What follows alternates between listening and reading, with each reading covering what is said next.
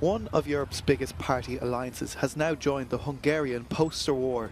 The liberal ALDE party wants to show that while people in Western Europe get a whole pizza, Hungarians only get a third, because the average salary in Hungary is the third of that in the West.